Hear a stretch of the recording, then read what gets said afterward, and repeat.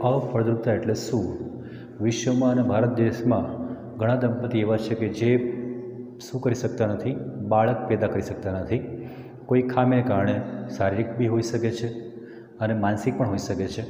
તો આવી જન્મજાત હોય, શારીરિક હોય, માનસિક હોય, મનોવૈજ્ઞાનિક હોય, તે ખામીને કારણે અથવા કોઈ અનિયમિતતાને કારણે બાળક પેદા કરવામાં અસમર્થ હોય છે. અને આવી જે સમસ્યા છે તેને કહેવામાં આવે છે અફળદ્રુપતા અથવા વંધ્યતા. હવે આની અંદર ચોખ્ખું કીધું છે ભાઈ અસુરક્ષિત.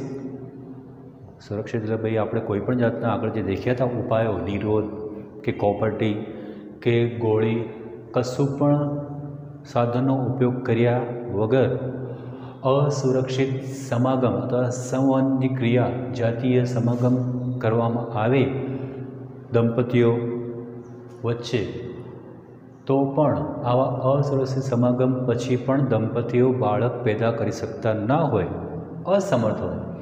તો આને આપણે કહીએ છીએ અફળદ્રુપતા હવે અફળદ્રુપતા માટેના કારણો પણ ચેક કરવા પડે ઘણા છે. શારીરિક નબળાઈ પણ હોઈ શકે છે, શારીરિક કોઈ ખામી પણ હોઈ શકે છે. જન્મજાત રોગોના કારણે પણ આવું થઈ શકે ભાઈ. વંશ પરંપરાગત આગળ આપણા વંશમાં, આપણા કુટુંબમાં કોઈને આવું હોય તો પછી એના છોકરીમાં અથવા તો એમના છોકરામાં કે જે બી હોય તેમાં આ રીતની ખામી જોવા મળશે જ. તો જન્મજાત પણ હોઈ શકે છે. અન્ય એવા રોગો પણ હોઈ શકે જેના કારણે પણ આવું શક્ય ન હોય. જે આગળ આપણે રોગોની પણ વાત કરી છે આગળ. જાતિ જે રોગો હોય તે જાતિ રોગોના કારણે પણ અફળદ્રુપતા આવી શકે છે. તે ઉપરાંત વધુ ઉપરથી વગરકામની દવાઓ લેવાના કારણે તો દવાની આડઅસર સ્વરૂપે લાંબા ગાળે પણ આવી દવા લેતા હોઈએ સ્કેરોઇડવાળી ખાસ કરીને, તો તેવી દવાઓના લીધે પણ આપણને આવો અફળદ્રુપતાનો સામનો કરવો પડે. તે ઉપરાંત જે તે પતિ અથવા પત્ની ગમે તે હોય, તેનું પ્રતિરક્ષા જે તંત્ર છે, તે તંત્રીય પરિબળો જે છે, એના કારણે પણ હોઈ શકે છે. તો આપણે જે રોગ પ્રતિકારક શક્તિ છે, જે તંત્ર છે, તે તંત્રમાં કોઈ ખામી હોવાના કારણે પણ હોઈ શકે. અને છેલ્લે છે મનોવૈજ્ઞાનિક, માનસિક બીમારી અથવા મનોવૈજ્ઞાનિક ખામીને કારણે પણ આવું શકે છે. તો મનોવૈજ્ઞાનિક કારણ પણ જવાબદાર છે આના માટે. હવે મોટાભાગે અફળદ્રુપતા માટે બાળક પેદા ન કરી શકે એના માટે આપણા ભારત દેશમાં મોટા મોટું જે દોષી હોય, દોષનું પોટલું કોના માથામાં નાખવામાં આવે છે? તો સ્વાભાવિક છે, સ્ત્રીના, પત્નીના માથે મારવામાં આવે છે કે ખરેખર આમાં કંઈ ભૂલ છે? પછી છૂટાછેડા લઈ લે કે ગમે તે કરે. તો દોષી કોણ છે? સ્ત્રી છે એવું માનવામાં આવે છે, પણ તે ખરેખર ખોટું છે? દોષી બેમાંથી કોઈ પણ હોઈ શકે છે, દોષ ખામી બંનેમાંથી કોઈમાં પણ હોઈ શકે છે, કાં તો સ્ત્રીમાં પણ હોઈ શકે છે, અને પુરુષ પણ એટલો જ જવાબદાર છે. તો પુરુષમાં પણ હોઈ શકે છે ખામી. તો હવે આવી જે ખામી છે, આવી જે ત્રુટિ છે, તે ત્રુટિ અથવા એનું નિદાન ક્યાં કરીશું તો નિદાન કરવા માટે આપણી પાસે વિશિષ્ટ પ્રકારના સ્વાસ્થ્ય સંભાળ કેન્દ્રો છે ઇનફર્ટિલિટી ક્લિનિક છે આપણી પાસે, કે જે ક્લિનિકમાં જઈ અને સ્ત્રીમાં અથવા પુરુષમાં જેમાં પણ કંઈ ખામી હોય તો તે ખામી નિદાન થશે અને આવી જે અનિયમિતતા જો શક્ય હોય દૂર કરવાનો ઉપચાર દ્વારા, તો તે નિવારી, જે કંઈ ખામી છે તેનું નિવારણ કરી અને આવી દંપતીને સંતાન પ્રાપ્તિ કરાવી શકાય છે. પરંતુ કેટલીક વખત એવું હોય છે કે ભાઈ સ્ત્રી અથવા પુરુષમાં એવી ખામી હોય, એવી અનિયમિતતા હોય કે જે દૂર કરવી અશક્ય હોય. પણ દંપતીને બાળક તો જોઈએ છે.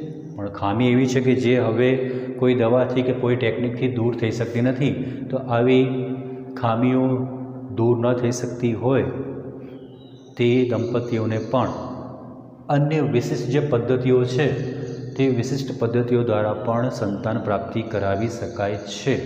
અફળદ્રુપતા દૂર કરાવી શકાય છે અને બાળક પ્રાપ્તિ કરાવી શકાય છે. હવે આવી જે ટેકનિક છે કે જે ટેકનિક કોના માટે વાપરીશું? કે જેમાં પરમનન્ટ એવી ખામી હોય જે દૂર થઈ શકતી ના હોય, તો આવા તેવા માટે, આવા દંપતીઓ માટેની પદ્ધતિઓ છે, સહાયક પ્રજનન પદ્ધતિઓ, જેને આપણે શોર્ટમાં કહીએ છીએ ART A R T assisted reproductive technologies હવે આવી પદ્ધતિ એક નથી, ઘણી બધી છે, જે પદ્ધતિમાંથી કોઈ પણ એક પદ્ધતિનો ઉપયોગ કરી સફળ થાય તો પછી બાળક પ્રાપ્ત થશે.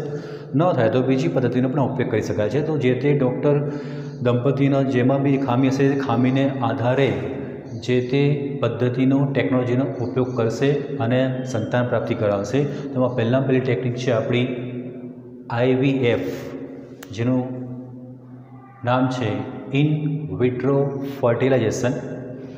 હવે આવું જે ફર્ટિલાઇઝેશન ભાઈ ફલન છે, પણ ફલન ક્યાં કરીશું શરીરની બહાર કરવામાં આવે છે. શરીરની અંદર હોય એવા ફલન આપણે કહીશું ઇન વિવો પણ શરીરની બહાર ફલન કરવામાં આવે છે. શરીરની બહાર એટલે ક્યાં ફલન કરીશું શુક્રકોષ અંડકોષનું મિલન ક્યાં કરીશું શરીરની બહાર પણ ક્યાં?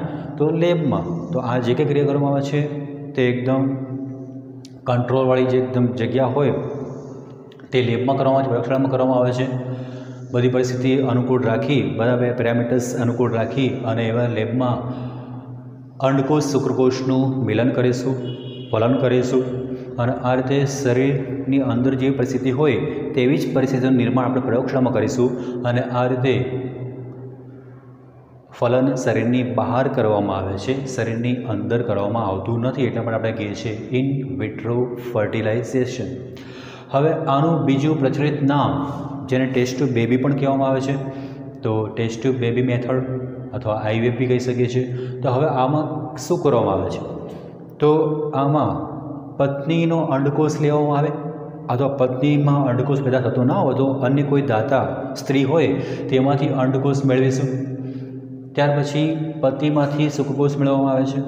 પતિ સક્ષમ ના હોય સુખકોષ ઓછા હોય કે ગમે તે બીજી કંઈ ખામી હોય, તો જે કંઈ દાતા છે તે દાતામાંથી આવા શુક્રકોષ મેળવીશું અને આ રીતે અંડકોષ સુખકોષ લેબની અંદર પ્રક્રિયા રહી છે, શરીરની બહાર રહી છે. અંડકોષ શુક્રકોષ બંને પ્રયોગશાળાની અંદર બંને વચ્ચે ફલન કરીશું, જોડાણ કરીશું અને ફલનના પરિણામ સ્વરૂપ આપણને શું મળશે પ્રયોગશાળામાં? શરીરની બહાર ફલન થયું છે અને મળી ગયું છે આપણને ફલિતાણ. હવે આ જે ફલિતાણ છે, તેનો વિકાસ પણ પ્રયોગશાળામાં જ કરવામાં આવે છે. શરીરની બહાર જ કરવામાં આવે છે.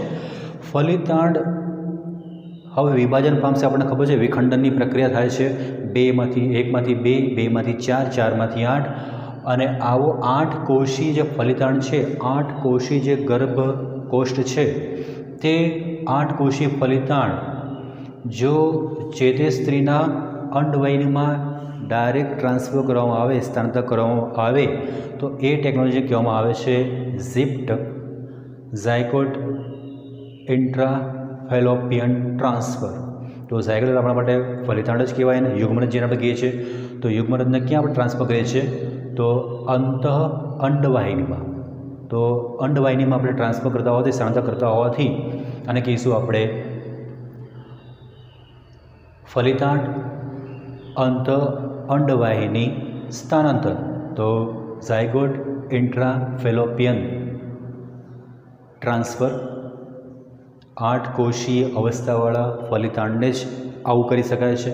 હવે જો આપણો ફલિતાંડ આઠ કોષ કરતાં વધુ કોષમાં વિભાજન પામી ગયો હોય, તો આઠ કરતાં વધુ કોષ ધરાવતો આપણો જે ગર્ભકોષ છે, તે ગર્ભને ફલિતાંડને અંડવાહિનીમાં મુકાય નહીં. હવે એને ક્યાં ટ્રાન્સફર કરીશું? તો હવે એને ટ્રાન્સફર કરીશું ગર્ભાશયમાં. તો હવે ગર્ભાશયમાં ટ્રાન્સફર કરવામાં આવે છે, સ્થાનાંતરિત કરવામાં આવે છે. અને આવી ટેકનોલોજીને કહેવામાં આવે છે ભાઈ આઈ યુ ટી તો ઇન્ટ્રા યુટરીન અથવા યુટેરાઇન ટ્રાન્સફર અંત ગર્ભાશય સ્થાનાંતરણ. તો ગર્ભાશયમાં ક્યારે મૂકીશું? કે જ્યારે આઠ કરતાં વધુ કોષોનો આપણો ગર્ભકોષ્ઠ બની ગયો હોય તો. ગર્ભાશયમાં. અને આઠ કોષનો અથવા એનાથી ઓછા કોષનો હોય, તો એવા ગર્ભને આપણે જે તે સ્ત્રીના અંડવાઇનમાં તબદીલ કરીશું, એમાં ટ્રાન્સફર કરીશું, તો આ રીતે આપણે પાસે બે ટેકનોલોજી આવી ગઈ ઝિપ્ટ અને આઈયુટી ઓકે? આગળ જઈએ છે, તો આ આપણે ફલન કર્યું શરીરની બહાર કર્યું. એટલા માટે કીધું આપણે in vitro test tube baby હવે આપણે ફલન કરીશું શરીરની અંદર જ. હવે શરીરની અંદર ફલન ક્યારે થશે કે જે સ્ત્રીના અંડપિંડમાં અંડકોષ ઉત્પન્ન થતા નથી અથવા અંડકોષ ઉત્પન્ન કરવા માટે સમર્થ હોય. પણ અંડકોષ ઉત્પન્ન કરવા માટે સમર્થ હોય, પરંતુ ફલન થયા પછીનો જે ગર્ભનો જે વિકાસ છે ગર્ભધારણનું માટે તે સક્ષમ ન હોય, તો ગર્ભધારણ માટે અસક્ષમ હોય તો તેવી સ્ત્રીની અંદર અંડકોષ તો ઉત્પન્ન થવાના છે, ચિંતા કરતા નહીં. શુક્રકોષ બી અંદર જતો રહેશે એ પણ વાંધો નથી. તો હવે જે તે સ્ત્રીના અંડવાહિનીમાં જ ફલનની પ્રક્રિયા થાય છે. ફલનની પ્રક્રિયા અંડવાયનીમાં થતી હોવાથી આપણે એને કહીએ છીએ ઇન વિવો ફર્ટિલાઇઝેશન તો ફલન અંદર જ થાય છે આની જેમ બહાર થતું નથી, પણ આ સ્ત્રી ફલન થયા પછી જે ફલિતાણ બનશે, તે ફલિતાણનો જે વિકાસ છે ગર્ભધારણની આપણે આગળ અવસ્થા દેખી ગયા, તે માટે તે સક્ષમ નથી. અને એટલા માટે ફલન થઈ ગયા પછી ફલિતાણ જે બનશે, તે ફલિતાણ અથવા જે ગર્ભ બનશે, તે ગર્ભ. હવે એ સ્ત્રીમાંથી બહાર કાઢી અન્ય સ્ત્રીના ગર્ભાશયમાં સ્થાનાંતર કરવામાં આવે છે અથવા અંડ, અંડવાહિનીમાં સ્થાનાંતર કરવામાં આવે છે. તો ફલન તો સ્ત્રીમાં જ થાય છે, પરંતુ આવી સ્ત્રી ગર્ભધારણ થઈ, કરી શકતી નથી. એટલા માટે ગર્ભધારણ માટે જે જે વિકાસ વિકાસમાં જે ગર્ભ છે, ફલિતાણ છે, તે ફલિતાણને અન્ય કોઈ સ્ત્રીના અંડવાહિનીમાં અથવા તો ગર્ભાશયમાં ટ્રાન્સફર કરવામાં આવે છે. તો બંને વચ્ચે ખાલી આટલો જ ફરક છે. અહીં ફલન બહાર થાય છે, જ્યારે અહીં ફલન અંદર થાય છે. બીજું આવે છે, હવે સ્ત્રી અંડકોષ ઉત્પન્ન કરી શકતી ના હોય, પરંતુ ફલન માટે સક્ષમ છે. અંડકોષ શુક્રકોષનું મિલન જે થાય છે, તે ફલન માટે તેનું અંડવાની સક્ષમ છે. પર્યાવરણ અનુકૂળ અનુકૂળ છે એનું અંદરનું તે ઉપરાંત ગર્ભધારણ પણ થઈ શકે છે. ગર્ભ જે વિકાસ છે તે માટે પણ તે સક્ષમ છે. પણ ખામી શું છે? અંડકોષ ઉત્પન્ન કરી શકતી નથી. હવે અંડકોષ ઉત્પન્ન કરી શકતી ના હોય તો તેવી સ્ત્રીને શું કરીશું? તો ગિફ્ટ જે ટેકનોલોજી છે તે દ્વારા આપણે દાતા સ્ત્રીમાંથી અંડકોષ મેળવીશું. કારણ કે જે સ્ત્રીમાં બાળક, જે સ્ત્રીને બાળક જોઈએ છે, જે દંપતીને બાળક જોઈએ છે, તે સ્ત્રી અંડકોષ ઉત્પન્ન કરી શકતી નથી. એટલા માટે હવે આપણે અન્ય કોઈ સ્ત્રી હશે, તે દાતા સ્ત્રીમાંથી અંડકોષ મેળવીશું અને એ અંડકોષ જેને પણ બાળક જોઈએ છે, તે સ્ત્રીમાં ની અંડવાહિનીમાં એ અંડકોષ મૂકવામાં આવશે, સ્થાનાંતર કરવામાં આવશે. આ જ સ્ત્રીના અંડવાહિનીમાં અંડકોષ તો દાતા સ્ત્રીનું મેળવી લીધું. હવે શુક્રકોષ કોનો કોનો મેળવશે? તેના પતિનો. સક્ષમ હોય તો તેના પતિનો શુક્રકોષ અને દાતા સ્ત્રીનો અંડકોષ બંનેને અંડવાહિનીમાં ટ્રાન્સફર કરવામાં આવે છે, સ્થાનાંતર કરવામાં આવે છે અને એટલા માટે આ ટેકનોલોજીને કહેવામાં આવે છે GIFT gamete intrafallopian transfer gamete એટલે કે આપણા માટે જનનકોષ જનનકોષ એટલે આપણા માટે અંડકોષ આ શુક્રકોષની આપણે વાત કરી, તો અહીં જે જનનકોષો છે તેને અંત અંડવાહિનીમાં સ્થાનાંતર કરવામાં આવે છે. ભાઈ અંડવાહિનીમાં આપણે એને સ્થાનાંતર કરીશું. તો આ રીતે ગેમેટ ઇન્ટ્રા ફેલોપિયન ટ્રાન્સફર દ્વારા દાતા સ્ત્રીમાંથી અંડકોષ અને જે તે પતિ સક્ષમ હોય તો એમાંથી સુખકોષ અંડવાહિનીમાં ટ્રાન્સફર કરીશું અને ફલન અંડવાહિનીમાં જ થાય છે એટલા માટે આ જે ગિફ્ટ છે તે પણ એક ટાઈપનું ઇન વિવો છે.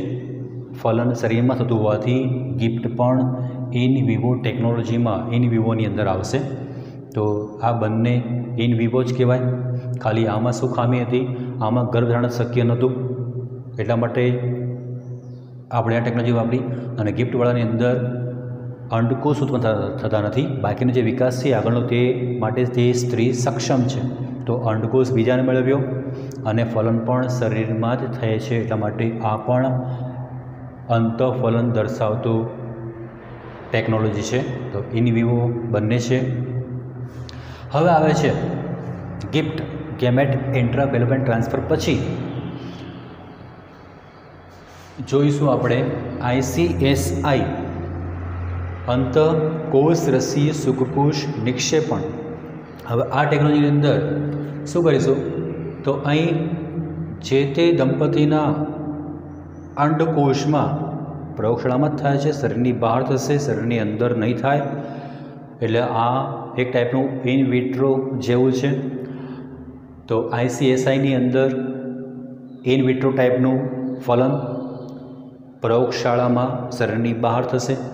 હવે આમાં શું કરીશું? તો આની અંદર જે તે સ્ત્રીનો અંડકોષમાં ડાયરેક્ટ જ જે શુક્રકોષ છે તે શુક્રકોષનો અંડકોષના કોષ રસમાં ડાયરેક્ટ જ શું કરીશું? પ્રવેશ કરવામાં આવે છે. એનું નિક્ષેપણ કરવામાં આવે છે. એન્ડ ડાયરેક્ટ જ ઇન્જેક્શન દ્વારા અથવા અન ટેકનોલોજી દ્વારા તેને અંડકોષમાં પ્રવેશ કરવામાં આવે છે. અને એટલા માટે આવી ટેકનોલોજીને આપણે કહીએ છીએ અંતકોષ રસીય શુક્રકોષ નિક્ષેપણ. તો શુક્રકોષનું આપણે નિક્ષેપણ કરીશું ઇન્જેક્શન કરીશું. એમાં અંડકોષના કોષ રસમાં તો એટલા માટે એને કહેવામાં છે ઇન્ટ્રાસાઇટોપ્લાઝમિક સ્પમ ઇન્જેક્શન. તો સ્પમને શુક્રકોષને ઇન્જેક્શન દ્વારા સૂક્ષ્મ આપણા નાના કક્ષાને ખૂબ જ નાના ઇન્જેક્શન હોય છે, માઇક્રો ઇન્જેક્શન હોય છે, તે ઇન્જેક્શન દ્વારા શુક્રકોષને અંડકોષમાં ડાયરેક્ટ ઇન્જેક્ટ કરી શકાય છે કોષ એને મુક્ત કરી શકાય છે અને આ રીતે પ્રયોગશાળાની અંદર ફલન થઈ ગયું છે. ડાયરેક્ટ શુક્રકોષનો અંડકોષમાં એના કોર્સમાં પ્રવેશ કરાયો, જેને આપણે કીધું છે આઈસીએસઆઈ ત્યાર પછી અને ફરી કહું છું ફલન શરીરની બહાર થયું છે, પ્રયોગશાળામાં થયું છે ફલન પછી જે બી ગર્ભી વિકાસ હશે, થોડો ઘણો વિકાસ પામેલો જે ગર્ભ છે, પછી પાછું આગળની જે પદ્ધતિ થઈ તે પ્રમાણે અંડવાહિનીમાં અથવા ગર્ભાશયમાં વિકાસ પામેલા ગર્ભને ટ્રાન્સફર કરવામાં આવશે. બરાબર? ખાલી ફલન આપણે બહાર કરે છે, બાકીની આગળની જે વાત છે આ પ્રમાણે રહેશે. ત્યાર પછી આવે છે છેલ્લે. આઈયુઆઈ અંતઃગર્ભાશય વીર્ય સેચનની પદ્ધતિ કોને માટે છે? કે એવા પુરુષ માટે છે, એવા પતિ માટે છે કે જે એની પત્નીમાં, એના પત્નીના યોનિમાર્ગમાં વીર્યનું ડાયરેક્ટ સ્ખલન કરી શકતો નથી. તો એવું કોઈ ત્રુટિ હશે કે જે દ્વારા પતિ જે છે અથવા જે પુરુષ છે, તે પોતાના પત્નીના પ્રજનન માર્ગમાં, યોનિ માર્ગમાં ડાયરેક્ટ વીર્યનું સ્ખલન કરી શકતો નથી, વીર્ય મુક્ત કરી શકતો નથી અથવા જે કંઈ પુરુષ છે તેમાં શુક્રકોષની સંખ્યા ઓછી હોય, તો તેવા કેસમાં આપણે આ પદ્ધતિ વાપરીશું. અંત ગર્ભાશય વીરસેચન કે જે પદ્ધતિની અંદર અહીં આપણે કૃત્રિમ રીતે આર્ટિફિશિયલી ઇન્સેમિનેશન કરીશું. તો કૃત્રિમ રીતે વીર્યસેચન કરાવવાની પદ્ધતિ છે અહીં. હવે વીર્યસેચન કરવા માટે શું કરીશું? તો અહીં જે પણ પુરુષમાં ખામી હોય, તો હવે તે પુરુષને પ્રયોગશાળામાં જ કૃત્રિમ રીતે વીર્ય એનું મેળવવામાં આવે છે. અથવા ભાઈ પતિ સક્ષમ હોય તો એનું વીર્ય મેળવીશું. અથવા પતિ સક્ષમ ના હોય તો કોઈ પણ જે દાતા હોય, તે દાતાનો આપણે વીર્ય મેળવીશું. અને પતિ સક્ષમ ન હોય શુક્રકોષ ઓછા હોય, તો પતિના શુક્રકોષો અથવા દાતાના શુક્રકોષ જે બી એની ઈચ્છા હોય પ્રમાણે શુક્રકોષો મેળવીશું.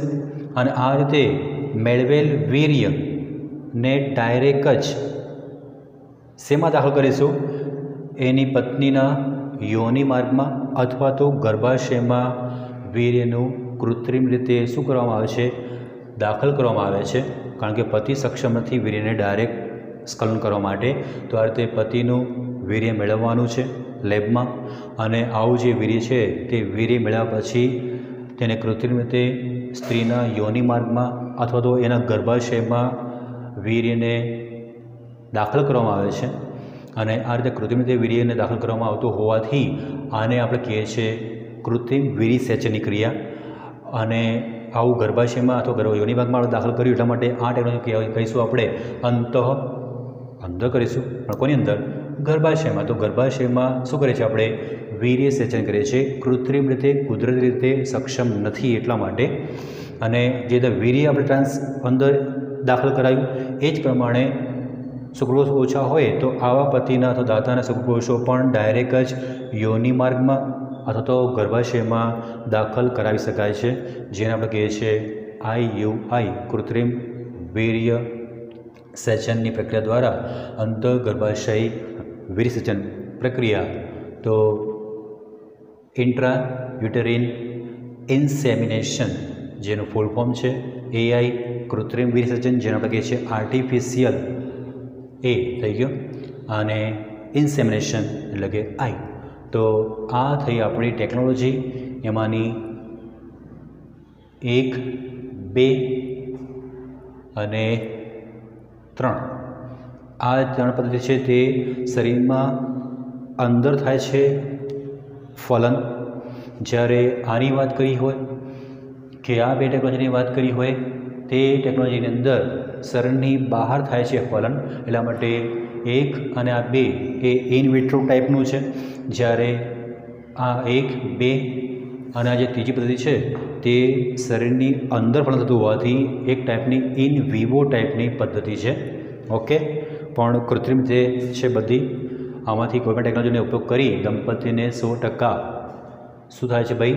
બાળકની પ્રાપ્તિ કરાવી શકાય છે અને આ રીતે અફળદ્રુપતા નિવારી શકાય છે. પરંતુ સમસ્યા એ છે કે આપણા દેશમાં આવા નિષ્ણાંત ડૉક્ટરો ઓછા હોય અને સાધનો થોડા મોંઘા પડતા હોય છે આવા ક્લિનિક માટે.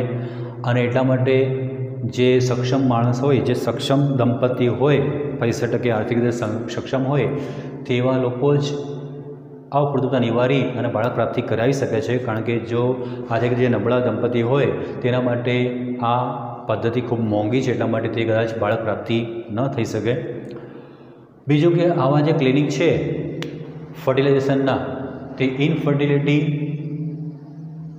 સોરી ઇનફર્ટિલિટી ક્લિનિક જે છે તે ઇનફર્ટિલિટી ક્લિનિક ઇનફર્ટિલિટી ક્લિનિક અફળદ્રુપતા નિવારણ માટેના જે ક્લિનિકો છે, કેન્દ્રો છે, તે આપણા ભારત દેશમાં ઓછા છે. ઓછા કેમ છે? આપણે વાત કરી પ્રમાણે કે ભાઈ નિષ્ણાંત ડૉક્ટરો ઓછા છે અને સાધનો મોંઘા પડતા હોય, મશીનરી જે મોંઘી પડતી હોય, દવાઓ એની મોંઘી પડતી હોય, તો એના કારણે અહીં મોંઘી છે પદ્ધતિઓ બધી. તે ઉપરાંત ચલો ભાઈ ક્લિનિક તો મળી ગયા આપણને આર્થિક જે સદ્ધર હશે તે એ ટ્રીટમેન્ટ કરાવશે. પણ અફળદ્રુપતા નિવારણ માટેની જે આપણે પદ્ધતિનો ઉપયોગ કરીએ છીએ તે મોટો મોટો પાછો ધાર્મિક લાગણીને પણ ઠેસ આપે છે, ભાવનાત્મક રીતે અને સામાજિક રીતે અવરોધરૂપ છે. એટલે અમુક ધર્મમાં આવું સ્વીકારતા ના હોય. સમાજમાં ખબર પડે કે ભાઈ આ ટેકનોલોજી દ્વારા એને મેળવી છે તો સામાજિક રીતે પણ આપણને અવરોધરૂપ કે સમાજ શું કહેશે? કે બાળક પેદા કરી શકતો નથી. એટલે આવું ટેકનોલોજીનો ઉપયોગ કર્યો વગેરે વગેરે. તો આ રીતે ધાર્મિક, સામાજિક, ભાવનાત્મક કે ગમે તે છે તે હવે આડે આવશે અને આવા પરિબળો અવરોધરૂપ હોય છે, આવી ટેકનોલોજીનો ઉપયોગ કરી દંપતીને બાળક પ્રાપ્તિ કરવામાં તો આ બી પ્રશ્નો છે.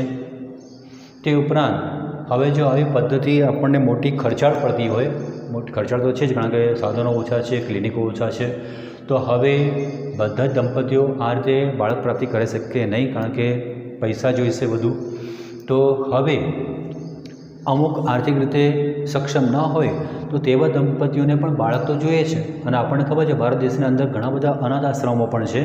તો ખરેખર આવી દંપતીઓએ વગર કામના પૈસા, ખોટા ખર્ચ્યા વગર શું કરવું છે? આવા અનાથ જે બાળકો છે કે જે બાળકોને માતા પિતા મળી જાય, તો એનો સારી રીતે વિકાસ થશે, આગળનું જે જીવન છે તે ઉજ્જવળ રહેશે.